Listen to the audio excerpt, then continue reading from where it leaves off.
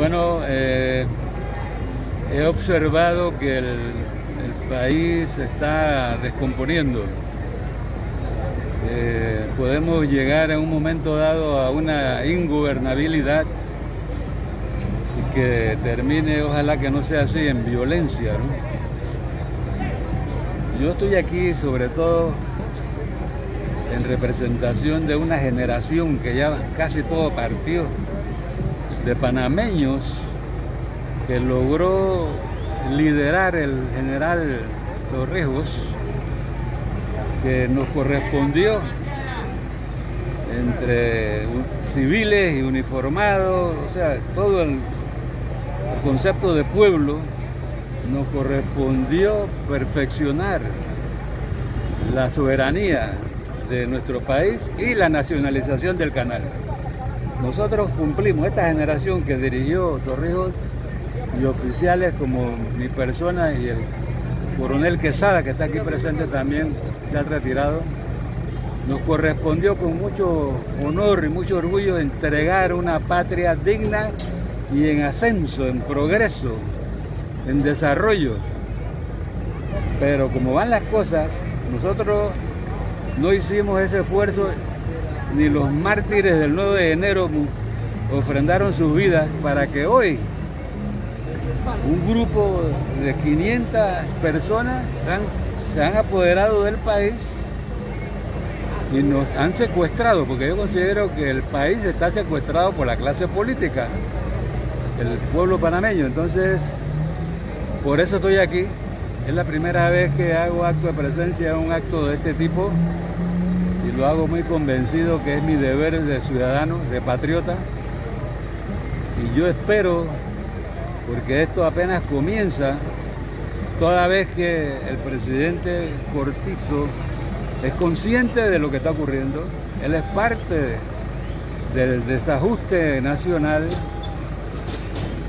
ojalá que reaccione.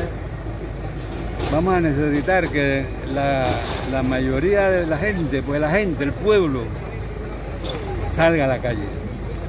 Es un plan pacífico, pero salga a la calle a reclamar sus derechos.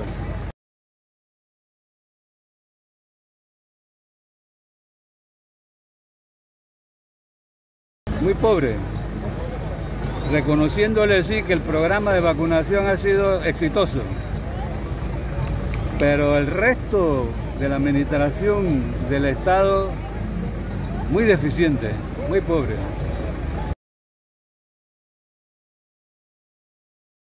Precisamente ese es un, ese es un, un hecho que le indica claramente que este grupo de, que nos tienen secuestrados están buscando una ley que les acomode para perpetuarse en los cargos políticos o mantenerse pues como diputados sobre todo.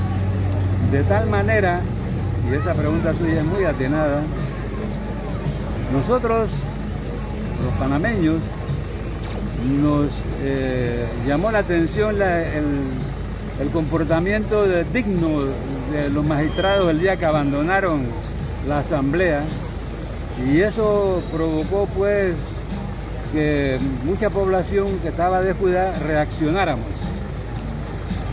Pero nos preocupa que ese, ese, ese, acto, ese acto de mucho civismo y orgullo y patriotismo de los magistrados se viene debilitando con la figura esa que inventaron a última hora de la mesa técnica que está funcionando ahí en el tribunal electoral. Entonces, no quiero culpar a los magistrados, sino quiero señalar que un presidente con tanta fuerza, que es uno de los defectos que tiene nuestro sistema constitucional democrático, ninguna otra institución soporta una presión de un jefe del Ejecutivo de la, talla de, los ejecutivos de Panamá. Entonces el defecto es la constitución. Espero que los magistrados no claudiquen en esta última etapa de esa famosa conversación de la mesa técnica. Porque esta ley, esta, esta intervención de la Asamblea en este proyecto ley que ya había sido evaluado y sopesado y filtrado por los representantes de los partidos políticos, la sociedad civil, inclusive esto, el mismo Tribunal Electoral.